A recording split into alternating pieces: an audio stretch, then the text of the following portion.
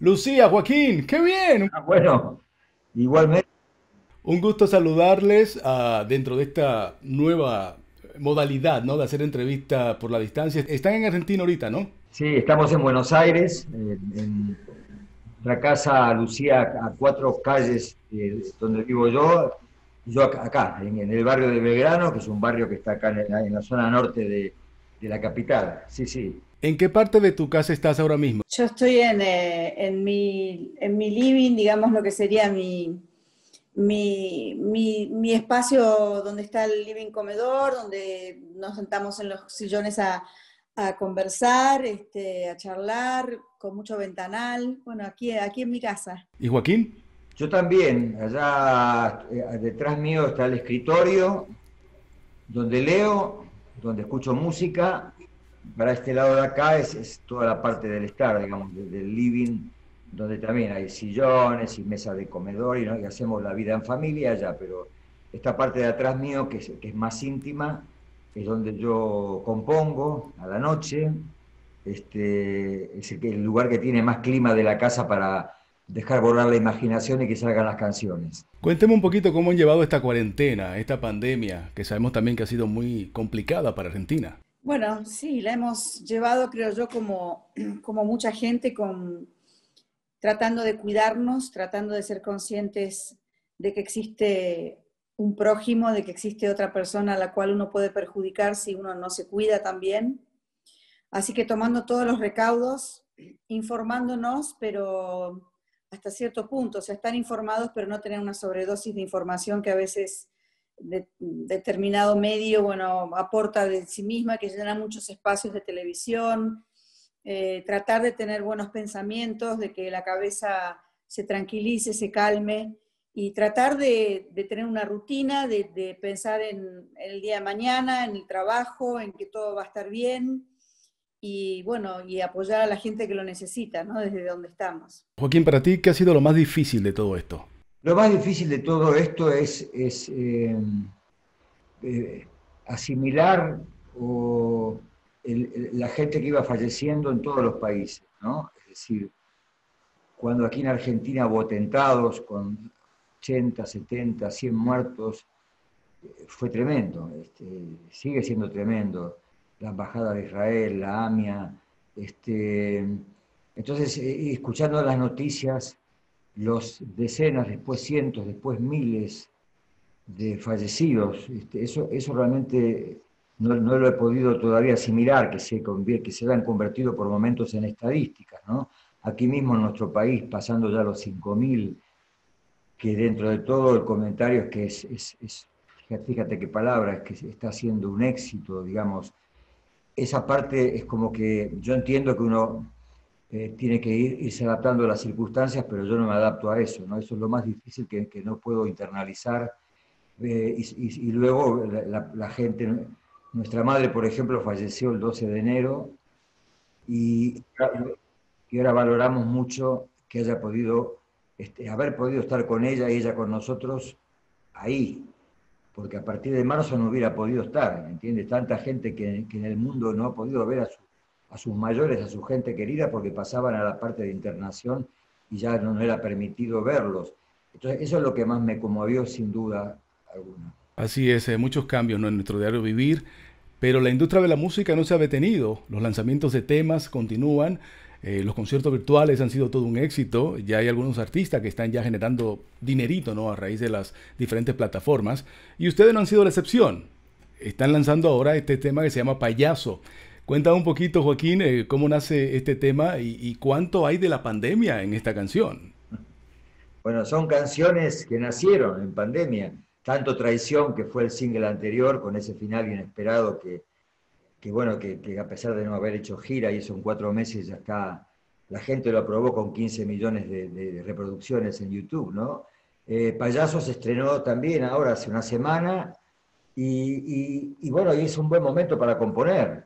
Imagínate, si no, salimos de casa, este, yo me encargo más de la composición, Lucía se encarga más del armado de, la parte actoral, de los videos, Así que Payaso sale como otra historia, una historia de, desengaño de una mujer que termina una relación afectiva y, como a veces pasa para tapar una cosa o para sacar un clavo si, uno se envuelve en otra relación y se encontró con, un mentiroso, ¿no? Con un payaso, en este caso, Lucía te cuenta de Diego Olivera, que es un actor argentino que queremos mucho, que hizo de mí esta vez. Es la primera vez, de hecho, que, Joaquín no protagoniza un video musical. Eh, ¿Por qué optaron a hacer esto así? Sí, bueno, em, quisimos bueno, mostrar esta vez eh, el verdadero personaje que, encara Joaquín siempre en el dúo, ¿no? que es el de, el de componer las canciones, el de producirlas, el de ser el manager de, todo, el, que produce todo. Así que bueno, esta vez hizo ese personaje, el, personaje real, y bueno, y pensamos en, quién podría interpretar este payaso de, de esta canción tan, tan especial, con, este personaje que amamos, que son los payasos, con todo respeto hemos puesto este título, pero a veces viste que se usa para, con, doble intención, ¿no? como, una, una ironía. Esta gente que muestra, muestra una doble cara, muy sonriente, muy alegre, pero por detrás está está la persona un poco más eh, sucia, un poco más mentirosa, traicionera. Y bueno, Diego, tuvimos eh, la suerte de conocerlo un poco más, vinieron con Mónica Ayos, con su esposa, a ver el concierto nuestro en el Auditorio de México hace un par de años.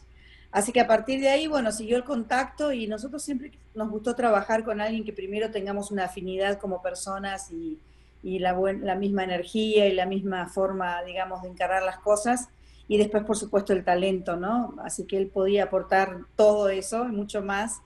Estaba en Buenos Aires y quedó un tiempo más antes de viajar, canceló su viaje, así que pudimos filmar estos videos que se hicieron en enero. Gracias a Dios ya teníamos filmado tanto Traición, que es la canción anterior que habla de, este desenlace de, de, pareja del mismo género, pareja igualitaria, y Traición, los dos los teníamos filmados de antes que empezara esto los videos musicales de ustedes son como películas, o sea, es un guion, eh, un drama, eh, una secuencia.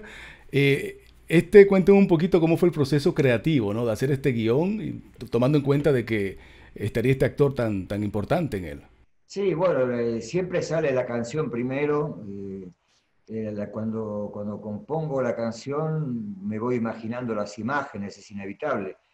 No solo yo, sino imagino que cualquier compositor cuando uno está componiendo, se está imaginando lo que está pasando, así que, y después el toque teatral siempre es, Lucía empezó estudiando teatro desde, desde, muy pequeña, eh, le encantaba el teatro, yo me fui acoplando, yo a mí me gustaba más la música con mis grupos musicales, así que fue mezclar, Pimpinela fue mezclar el teatro con la música, y, eso sigue estando hasta el día de hoy, por eso nuestros videos son, como, como tú dices, como pequeñas películas o series de tres minutos donde nos gusta mucho, eh, no, no, el despliegue técnico ni, ni, ni, de, ni, de, recursos, ni de explosiones, ni de coches, ni de, ni de, mm, eh, alarde, sino la emoción, digamos, los, los, actores, las caras, las expresiones, los climas de luces, contar la historia. Eh, contar la historia como la, como la historia es, ¿verdad? Este, de, de, acuerdo al video, si es un video de humor, por supuesto va a haber va a haber este, como Cuánto te quiero, o Buena Onda, o aquellas canciones de la telenovela, yo qué sé qué. Este, siempre hay colores y otra cosa, pero nos gusta representar bien el video. Lucía, Joaquín, mucha gente se pregunta cómo dos hermanos eh, pueden cantar temas de amor y desamor. En el inicio de su carrera, ¿esto fue algo difícil? Ustedes son actores también, algo que facilita ¿no? esta, esta interpretación de canciones como esas. Pero ¿cómo se puede lograr? Por ejemplo, yo no tengo una relación como la de ustedes con mi hermano. O sea, ¿cuál es la clave? La clave es un poco lo que dijiste antes, ¿no? Nosotros en las canciones jugamos a ser muchos personajes. Si tuviéramos que cantar solamente canciones que pueden cantar dos hermanos, se limitaría muchísimo. El hecho de haber estudiado teatro nos, ayuda a hacer distintos eh, papeles Em, en las canciones que nos miramos y nos cantamos uno al otro son canciones que hablan de un, de un conflicto, que hablan de, un problema.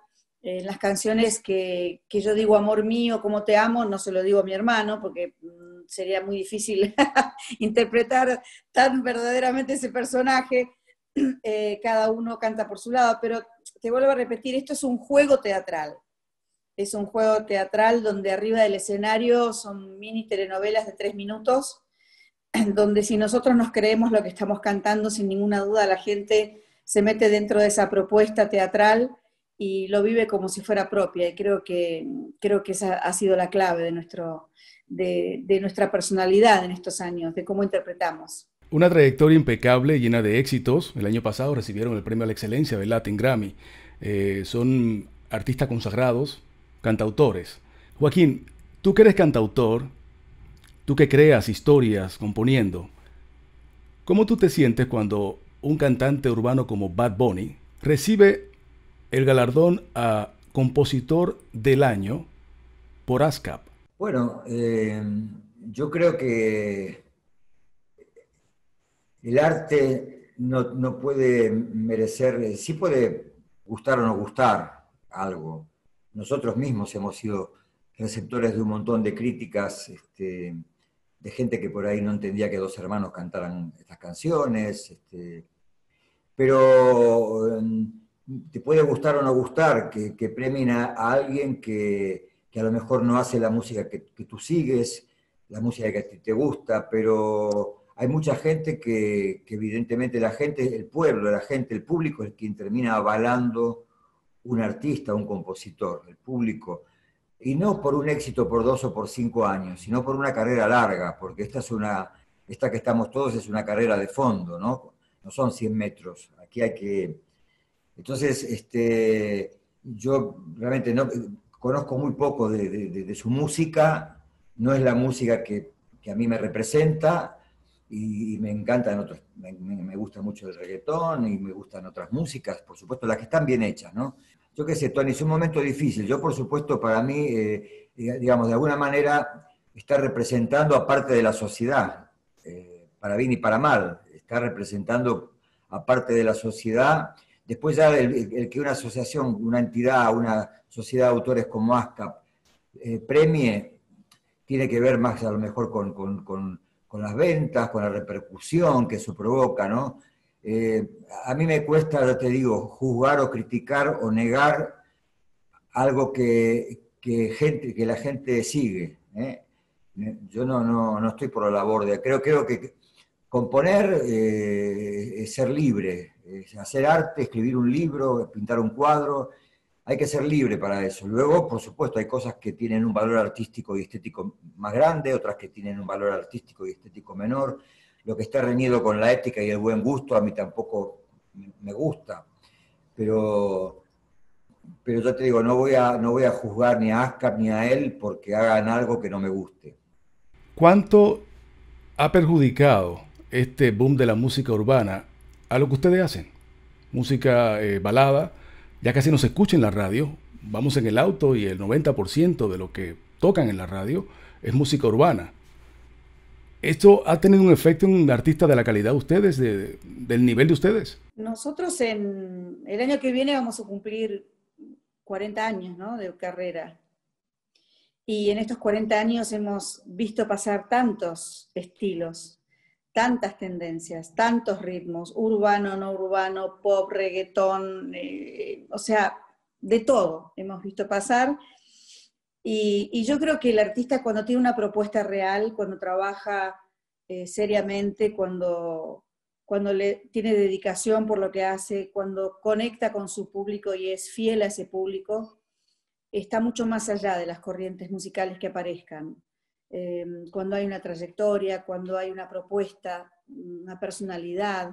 No creo que, que, los artistas ya instalados se vayan a sentir perjudicados. Sí, por supuesto, quizás menos espacio, como tú dices, en las radios, en las emisoras, porque las emisoras van a lo que las compañías discográficas apuestan, al dinero que les pagan por pasarlas, por pasar esas canciones, por pasar esa música, a la gente, por supuesto, que consume ese tipo de música, que está perfecto, no es mi estilo, no es lo que me gusta, no es lo que me identifico, pero si hay gente que lo consume, es respetable. Em, pero hay que estar, creo que, un paso más allá. Puede pasar mil cosas. si tú, tú eres un artista que mantienes tu estilo, tu forma de trabajar y tu público y eres consecuente con eso, pueden aparecer muchísimos artistas. Lo que van a tener que demostrar esos artistas, tengan el premio que tengan, es cuánto tiempo perduran en el ambiente, en la carrera, cuánto tiempo más van a estar. Eso es lo que realmente consolida a un artista, la permanencia. ¿Para cuándo planean ustedes ya regresar a los escenarios? ¿Cuándo hay fechas, eh, tomando en cuenta de que esto le quede poco, la pandemia? Sí, mira, nuestras fechas de, octubre y noviembre que teníamos allí en Estados Unidos, en tantas ciudades, como es, como es lógico, se, han ido este, postergando. O sea, ya, ya hay nuevas fechas. El, por ejemplo, en Miami vamos a estar el, el sábado 19 de junio. Siempre hablamos del 2021, ¿no? Sábado 19 de junio en el James Knight Center de Miami. Esa es la fecha que hemos puesto ya ahí con la gente de la empresa porque mm, es donde tenemos todas las posibilidades de, tener el, de que puedan entrar 4 o 5 mil personas en el James Knight Center y, estar todos saludables y vivir una fiesta. Después en, New York, la tengo aquí en New York, vamos a estar el sábado 12 de junio en el, en el Beacon Theater. Tú sabes que en New York primero se iba a abrir los teatros en marzo, después en junio, después en septiembre y no se pueden abrir. Entonces ya directamente cortamos por Lozano y estamos el, sábado 12 de junio en el Beacon, el viernes un día antes, el 11 de junio en el, Atlantic City, en el Tropicana, y después este, en Orlando el, 13 de junio, este, en Orlando el domingo en el House of Blues, y, en Puerto Rico, este, nuestro amado Puerto Rico, vamos a estar el, el, 20 de junio allá en el Coliseo, ¿no? Después sigue habiendo más fechas que nos, nos irán pasando y tenemos dando Tony en Los Ángeles, en el, en, el Alex Theater, en, Richmond, en, Chicago, pero se está reprogramando como con todos los artistas porque todos queremos que la gente esté ahí este, y, bueno, y, llevar un gran show, sobre todo en nuestro caso en este, en este 2021 que tenemos el aniversario, ¿no? La gente que ya tenga su entrada le sirve perfectamente para esos conciertos, o sea, el que ya haya comprado la entrada para las fechas anteriores puede entrar perfectamente con ese ticket. Qué bien. Lucía, Joaquín, muchas gracias por esta conversación y que sigan, que sigan cosechando más éxitos. No, muchísimas gracias a ti y a todos. Un beso muy, muy grande para todos. Gracias. Cuídense. Chao. Hasta pronto. Chao, Tony.